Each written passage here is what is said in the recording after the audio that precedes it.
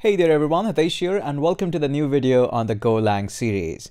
Before we move further, I would like to say a big shout out to all the people who have supported me at pro.learncodeonline.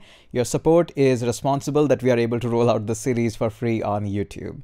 So anyways, moving on, in this video we're going to talk about array and you'll be surprised to know that array is very less used in the Golang. In majority of the other programming language, array is the most used uh, data structure or data type that we go through. But in the Golang, the language specification actually holds our hand a lot and don't allow us to use too much of the array. But under the hood, there are other data types which actually utilizes array, but gives us a lot more freedom than that. So enough of the talking, let's go ahead and see what all array has to offer in the Golang. So we are on to 08, quite far we have been. And let's call this one as my array and let's create a new file into this. Pretty simple. We have seen this so many times.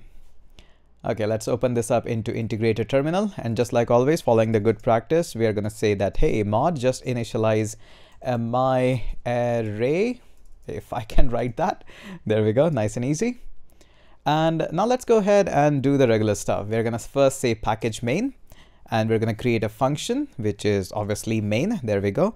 Let's have a simple message, which is going to say, welcome, welcome, come on, welcome to array in Golang. There we go, nice and easy. Now let's go ahead and see that how we can utilize the arrays in the Golang. It's pretty simple. Let's go ahead and declare an array. We're going to go for the fruit list. So any list that you might want to have, that's how we go for that. So the way how you define arrays in the Golang is using the same old square brackets.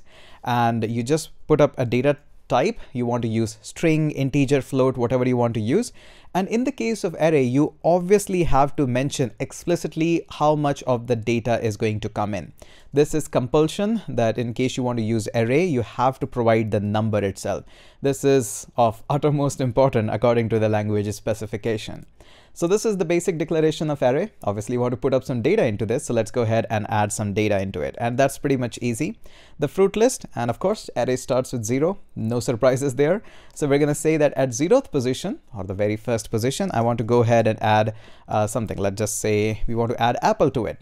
And similar to this, let's go ahead and add more values to this. So we're going to go ahead and say that at first position, I'm going to add something more. Let's just say tomato yeah uh, that's what we are going for. And I'm not going to insert anything at the second position. I'm going to go ahead and add something at third position to show you something more as interesting part. Let's go ahead and say this is going to have peach. Okay nice easy. No surprises there. Okay let's go ahead and now get this fruit list. Come on why are you scrolling this much? Okay let's go ahead and say I want to have the firmed list and I'm going to simply go ahead and say that fruit list is or are yeah, fruit list is. And we're going to go ahead and say, just give me a fruit list. Let's see what does this actually prints out. And something interesting that you should keep an eye on this one. So we're going to say go run main. And as soon as I do this, notice something interesting, which is pretty easy to miss. We have this apple, we have this tomato, and the space is just one between apple and tomato.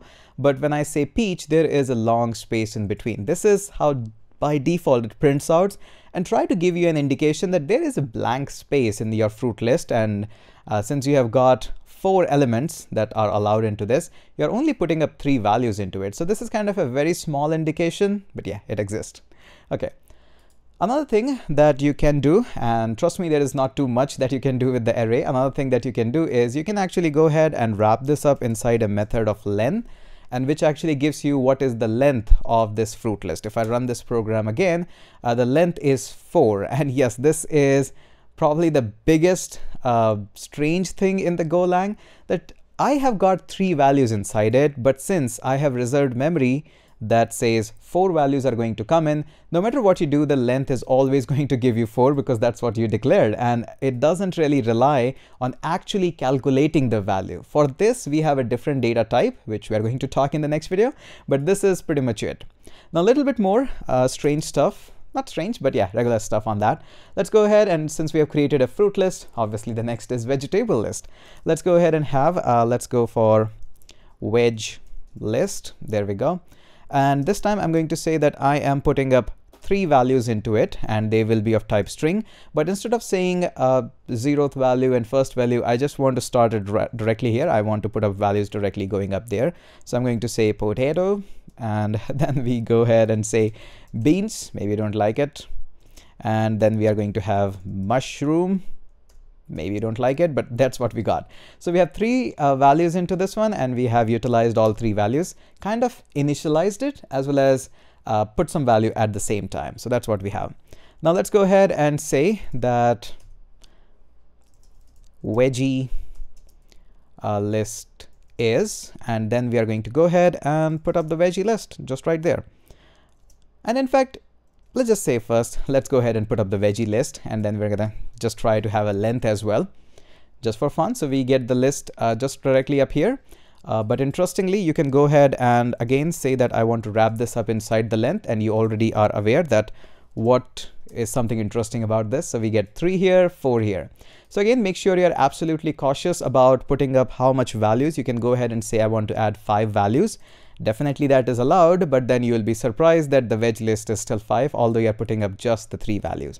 So that's it. Uh, there is not too much. There is no sorting. Uh, there's no something crazy that you can deal with with the arrays. There is another data structure or data type that is available in the Golang. And majority of the time you'll be using that, not these arrays. But yeah, there are use cases for this one as well. Let's go ahead and catch up in the next video and talk about that other data structure, which is known as slices. And that is entirely overly used in the Golang. Let's go ahead and catch up in next video.